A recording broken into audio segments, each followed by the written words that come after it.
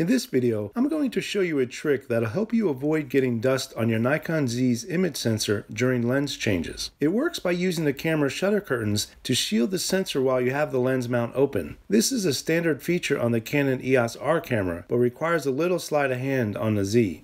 First, turn the camera off. This will make sure any settings changes you made while using the camera will be saved. Next, remove the XQD card. This step isn't essential but will guarantee the camera won't try to access the card while we're pulling the battery, which could potentially corrupt it. Turn the camera back on and wait a few seconds. Now, remove the battery. This will trigger the shutter curtains to close, whereas the camera would normally leave them open when turned off via the power switch. You can now perform your lens change with the image sensor protected from dust by the shutter curtains. Be careful not to touch the curtains while performing the lens change though. They are very close to the mount on the Z cameras and are extremely delicate. Reinsert your XQD card and turn the camera on. You'll immediately see an error message asking you to press the shutter button. This is because the camera doesn't expect to find the shutter curtains closed when the camera is powered up. Simply press the shutter button to reopen the shutter curtains. One word of caution. Because we're removing the battery while the camera is on, there may be unknown side effects, such as the remote possibility the camera settings might be corrupted if power is removed while the camera is writing to its internal non-volatile memory. Special thanks to DP Review user EVPA for making this discovery about the shutter curtains closing when the battery is removed.